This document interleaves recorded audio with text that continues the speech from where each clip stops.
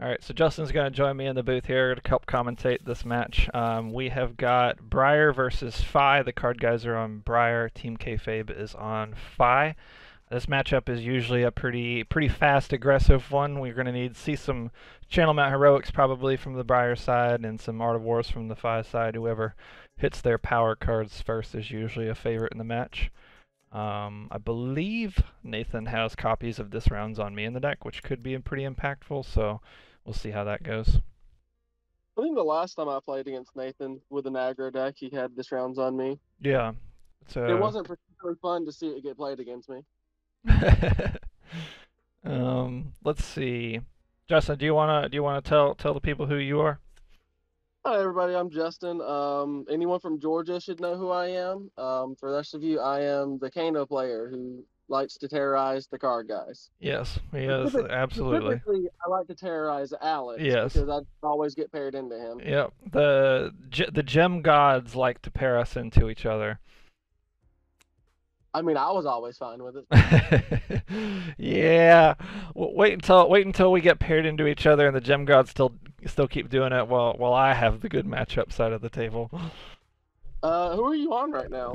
Um, oh, I'm playing Icelander at the moment, but That, that's fine. That matchup isn't as good as you want to think it is right now. uh, into Kano. Yeah. No, I I I would think Kano's actually probably favored. Uh, um, I've played it a few times with a new list, and I think I've lost once to like some really awkward hands and then some really nice spice from my opponent. Well, it looks like Nathan was able to resolve a this rounds on me on turn zero, which is pretty good, and still get an arsenal and push a point of damage. So that's always that's always solid. This rounds on me especially shines on turn zero because it, it basically eliminates the card draw for your opponent. That's fair. I was gonna say, is that right? But then you, then I was thinking, yeah, he doesn't get to. Yep, he'll end up with a Like, four with a card four card hand. Yep. It is a- That's- all value. Awful. Um, did he put the tiger or not the tiger, the um phoenix flame in his actual graveyard? Did he not move it to the side for ease of access? I have no earthly idea. I'm sure we'll find out soon enough. That's fair. I really hope he didn't just like completely forget to pull it out. Yeah, that wouldn't be good. I mean, it would be for Nathan. It would be an advantage, but that's that's not something we're trying to trying to take advantage of here. Oh yeah, I don't want it to happen. I'm oh, at least he had the art of war to balance out this round's on me. Yeah, a good old net even. And then you see spreading flames come next, and you're like, wait a second. Let's see, the double strike would come in for one with the uh with the buff and minus, right? Yeah, just just stays Yeah. even at the one. Yep. Um, what I think is interesting is that the art of war doesn't affect the sword, but that this round's on me affects the sword. So the sword still gets a minus two or minus one. That's pretty That's funny. hilarious. This brand with Cinder's Claw is going to come in for a whopping two. Um, one thing to note is the Fai players playing Mask of Momentum instead of Pouncing Lynx. Um, um, I think that's what they play in this matchup, uh, pretty typically. Um, but I think it's better in this matchup because it forces some blocks where blocks weren't forced before. What color is that? I can't tell. Is that which one? the brand Brandwood Cinderclaw? It's a yellow, so it came in for Okay. two. Yeah. The good, the interesting part here is that uh, the second double strike will also come in for two. It's not a one attack. It should trigger the uh, the Shuko, the gloves. Right. Unless Shuko reads weird, I believe it does not. Um, second attack, two or less base power, has plus one. Okay. Yeah. Um, there's your Phoenix Flame. So we didn't forget the Phoenix Flame, but if you'll notice here, uh, Nathan went ahead and blocked with his armor on turn one, which means that there's almost for sure a channel like, uh, or sorry, a channel Mount Heroic coming. If he plays Channel Lake Frigid, um, the game the game would be over. Shuko triggered on brand. Oh, that's right. That's right because of the first. Yep, that makes sense. Double strike into the into the brand.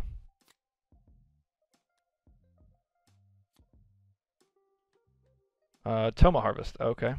Um, let's see if he has the channel to go with it. Tome of Harvest channel is fantastic because it creates that embodiment of lightning and still gives you a pretty big hand to work with. You're like five seconds faster than me.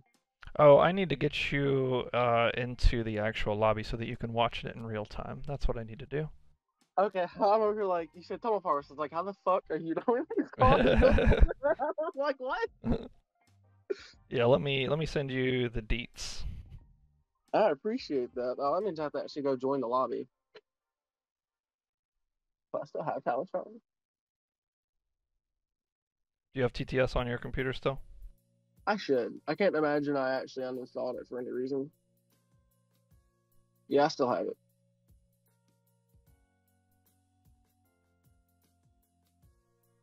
Well, he didn't have a um ten heroic, but that's a uh that's a pretty good turn there.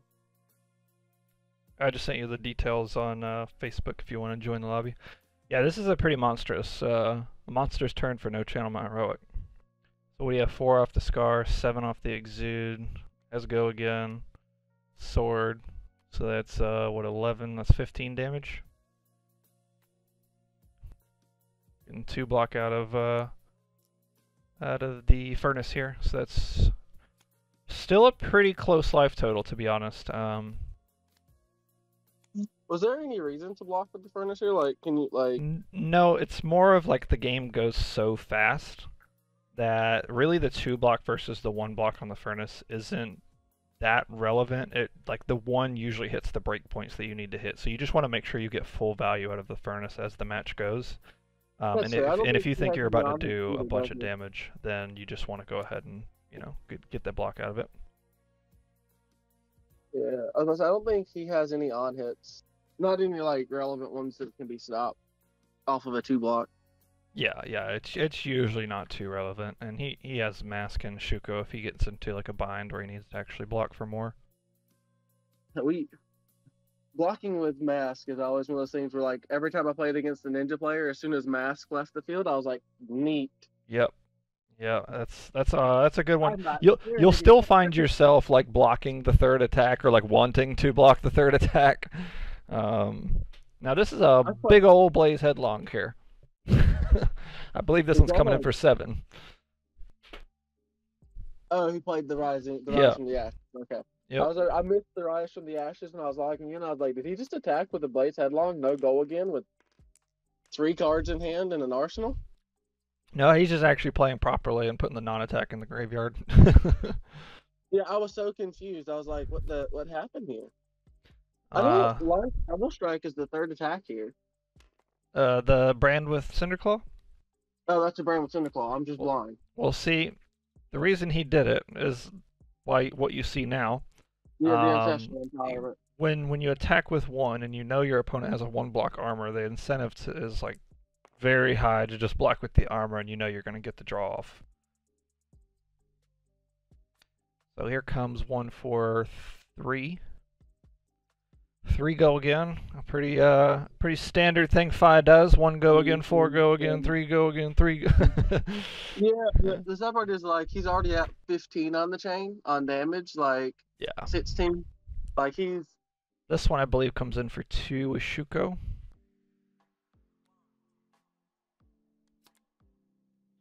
But Nathan took the damage, so if he didn't have the channel before, he's probably got it now that Phoenix Flame was um putting his hand from the from the rise. Yeah. So what's interesting here, and I've I've done this a few times with Fai, if he would have attacked with the Phoenix Flame instead of the Brand with Cinderclaw, he could have done the same play with the Ancestral, and then he could have closed chain to put Phoenix Flame back in graveyard, made the same two attacks, and activated Fai to get another one damage. Hmm. Because he didn't use Fai to put the Phoenix Flame in his hand, right? He got it with the um. I believe so. I believe so, but I'm not sure if he actually ended up putting it like if, I'm not sure if he ended up playing it twice that turn. I don't think he did. I only saw him play it once, so like, because you have to you have to play it at the right spot in the chain to get it there. Yeah, But his third attack happened to be a one attack anyway, which is what Phoenix Flame is. right. Unless Phoenix Flame, no, I know I didn't. I'm dumb. Phoenix Flame isn't a ninja attack. Oh yeah, he wouldn't have been able to You um can't- you can't yeah, ancestral it. Exactly. Looks Ooh. like That's we might be getting a Snapdragon Scalers on the snatch here. Welcome to the booth, Will. Welcome. Oh, he's running the AB1. You know, I have come to the conclusion that I don't think that's correct, but we'll see how it goes. Against Briar, Yeah. I gave up on blocking AB from Briar with anyone that doesn't just have it on their equipment a long time ago. I was like, this is just, this just makes me want to block bad things, and like I feel like it loses me damage or block value across the game. I think it's more of a like uh, save your ass card, where It's you get correct towards that end game and you kind of like have that like stalemate with like the you take damage, I take damage, you know, like, and if you your Briar opponent can get you low enough and just block and make a rune chant and kill you, then uh, Yeah, it kind of puts true. puts you in an awkward situation. I, I'm Um, not a disciplined enough player to see arcane barrier on my side of the field and see arcane damage coming at me the entire game and not use it. Even though I know it's probably wrong to use it at times, I'm just like I don't wanna. And this is pretty funny here. Um, snatch, snap into snatch. Yes. Will, he's Uh, saying that the yellow brand was um, buffed by Shuko. Uh, it was because it's base power, not total power. Correct. Which Oh, he gets base another power with it snatch. anyway. Oh, Nathan, you stud. Will, if you want to join the actual TTS lobby, you can watch it in real time. Oh, yeah, I'll do that. Oh yeah, if I can. Or, uh, Alex, excuse me, I'm sorry about that. Alex over here calling out cards that haven't appeared on my screen yet in the beginning. I was like, he's like, oh, it was Tome of Harvest. I was like, I still don't see a Tome of Harvest, dude. I will say, um, the arcane barrier that he is using, the the one, is almost the same as just because doesn't he normally run snappies in that spot? Yeah. And I can't really think of like many cards in the deck that doesn't have go again. That's not like salt the wound, which you'd use your snapdragons on anyway. And tide flippers still touch those. Yep, Tide Flippers is there mostly for Lava Burst, Salt the Wound, and Blue Snatch if you play it. Um, Yeah, So like you're not losing out a whole lot on not having to. Did he just block with the this rounds on me? yeah, for four. Ooh, lovely. That is the power of three block blue cards. Briar has a way of making them block for more. Hey, at least it's not like in the olden days where that Yeah. uh, that rounds on me That- blocked for eight. Yeah. oh, I'll block your Crippling Crush with one card. I didn't see any problem with that. Nathan's actually in an okay spot here. It just depends on how the cards are coming. Uh, I don't like that he's blocking though. Yeah, he. The problem is, is he just doesn't have tempo. Um, he's gonna have to find a way to squeak some tempo back in his favor here. Yeah. Um, he's getting he's getting very fortunate that his opponent doesn't have very like very powerful arsenal cards. I mean, that could be what he's going for here. Is like Ooh, blue brand. Interesting. It could be he's uh, setting up for um what's Oh, it okay. called? Tantamount heroic. And then he just has to live a round of attacks to have tempo back. So if he's running blue brand, then he isn't fully on the Rakowski package. Very interesting. Lightning Search from Arsenal here is very, very, very helpful with tempo. A wonderful way to start the turn. Absolutely. This is this is what he needs to get back into the game. Nice. All right. Um, I don't think He he's doesn't reflex, does he? well. He couldn't. Yeah, I don't think he plays reflex, but I think he's playing press. I'm just not entirely sure. I just made. I played against like the ninja players have scarred me. I see a tunic on one and a snatch coming in. I was like, he has a card in hand. It's razor reflex every time. So here's an interesting spot. Uh, Nathan actually set him up, set himself up for success here. He can get the one card blocks for here, and then he can Crown of Providence whatever is going to trigger Mask potentially, and have a four card hand while his opponent's at 11 um, to threaten lethal and get tempo back. But it looks like Oh, you he's just thought you were- yeah no? He, he's it's it's a, just a solid block three. So Nathan does have his buyer list usually. Um, I'm not sure if at this moment he does built to block very well. Um, where he's okay trading a couple of cards, so he's blocking for seven with two cards, which is above rate, um, and then coming back at his opponent with three cards, um, threatening potentially lethal. That's fair. It just feels so strange. Why the the second attack in the chain or the first attack in the chain? That's the first then Well, the mounting anger has an on-hit effect, um, and so blocking it for four and preventing the on-hit effect could potentially block five damage. I get mounting. I was more or less confused about the weapon, unless he doesn't have a way to give swarming go again. Well, he probably has another three block in hand, which um, did he end up blocking with another swarming? No, he only blocked with the one. Okay, so because he only has one card in hand, so he had to have blocked with three cards. Yeah, the second card he blocked with was an E strike, or the third he blocked with E strike. Oh, he blocked with an E strike on the third chain link. Okay, so that Yeah. that makes sense then because he had another three blocks. So he's trying to get full value out of his block. So now you'll see he's at a he's got his opponent four life less than where they started uh, for the other turn cycle, the last turn cycle, and now he just has to basically dodge.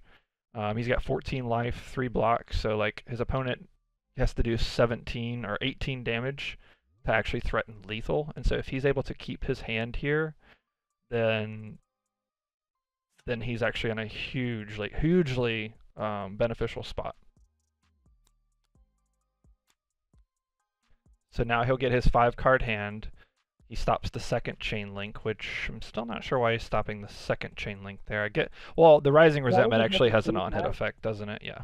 So that one actually it's is a- important. An on hit effect plus it was a two attack, so Right. the equipment plain blocked it. Right. Yep, that makes sense. I forgot about the on hit. second chain link, Yeah. But you know,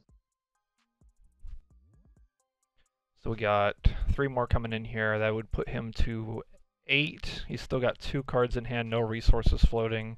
Yeah, I agree with the block with Command and Conquer. This is gonna allow him to. Almost certainly, he's not gonna be able to get the last. Well, I don't know. This is this is interesting. He's just gonna take this damage almost for sure. And then he's gonna try to figure out what his opponent's doing with the last card snatch. That's that's a rough one. well, so Um, the thing is here, snatch can't be given go again, right? Oh, why did you block that for five? Well, the channel was full blocking. The Channel channel. was Oh wait, no, no, no, no, no. He had uh, spreading flames. He had spreading flames. Or does that only affect draconic cards? That only affects draconic cards. Wait, was the last card before it a um Cinderclaw? Mm, Might have been. Can't remember. Yeah, the the a- yellow brand, because he let he let the yellow brand hit, didn't he? Yeah. And then so he made it draconic, and then yeah, okay. Or, or actually, it doesn't even need to hit to make it draconic. Yeah, so that makes more sense. Yeah, you're correct. He did just reveal a blue off his uh, Ravenous Rabble though. That hurts. So my big question is here is why block the um why block that at all? Because it doesn't have go again and tide flippers can't give it go again. Um, you know, If you don't block that here, like you can you can play the channel mount heroic nimblism, attack with go again, and then attack with sword. did he and have like- an earth blue? You don't have to keep it around. Who cares? Well, did he have any blue? I don't know what the second card he blocked with was. I, I just saw the heroic and something. He blocked with CMH, Command and Conquer, and this round, or no, that was last turn. I need to keep yeah, up a little what better. Uh, other than Tournament heroic was. hmm. So he was able to keep a whole whole hand here. Uh, I think he blocked with that attack on the chain. Yeah, pretty sure that's was blocking, right? I know he moved the helmet up there. Oh, he was determining what. Okay, so he blocked with the the mask too. Okay. So we're gonna Is go. that another cutting flame? Yeah, if he has a zero cost attack in hand, this could pose a problem. I'm gonna assume that he does. I will say that uh, it's nice to see that the Fai player hasn't made the mistake of attacking with Ember Claw as the third hit because it doesn't actually trigger mask. Like it's just such a common thing I see with new ninja players, like forgetting that mass says attack, third attack to hit, or th- third attack action to hit, not Right. third attack. Right. I learned that one the hard way way back in the day with Ira. That was that's I think that's one of the reasons when new players pick up this game I always recommend the Ira starter deck because it was designed for new players, right? Like it is like the pinnacle of like this will teach you the game perfectly. Um, it Yeah. has defense reactions, it has attack reactions, it has attacks, it ha- and then as you build into it, you like you can add cards like Mask of Momentum and, and Was it- things and Was it making it seven at the start of this turn? six, I believe. Okay, that's just me missing something there. Then I don't know. I was making sure. The weird part about spreading flames here is the only card it's going to buff is the Phoenix Flame. Correct. Not buffing but Phoenix Flame, and that's And here's the benefit of Tide Flippers. Because he now just doesn't doesn't just immediately die to like that's true to, to a, to it a sword swing, you know. yeah, Um, which I mean, with this hand he can't trigger sword. with a two card hand, I- oh, this is a 'Cause you have to- really good one to have. Uh, if he has another zero for four in hand, let's see. If the ninja player doesn't have the three blocks, then if he has another zero for four, this is gonna rip rip two more cards out of his hand. And then Nathan's in a very good spot. I mean, if it's a blue, it also rips two cards because you get to make a uh, oh, make a rune chant and sword swing. Yeah, so it doesn't really matter what it is, I think. Actually, yeah, I thought. Well, I mean, it could be like a red, not zero cost, and then he can't use it. He just has to come in with sword, which pulls in one card, which is almost as good. Ooh. Yeah. It was a blue, Yep. Yep. Does the same thing. which the sword still requires one card. Yep. So he's gonna get him down to one card, and he'll have a full hand. This, this is very, very good. And he's still got tunic, just in case his opponent's able to keep a zero for four, so that he can keep a three card hand. I think you take the arcane that way you can Oh, come yeah. in with a attack back. You, you have to. Like, Yeah. there's, there's, if you don't You get a card out of give him a Nathan's hand, the, the game is over. Yeah. At least this way, if he has his own zero for four, then like it forces probably a tunic plus a card. Yep. Yep. So here's the That would be zero for four.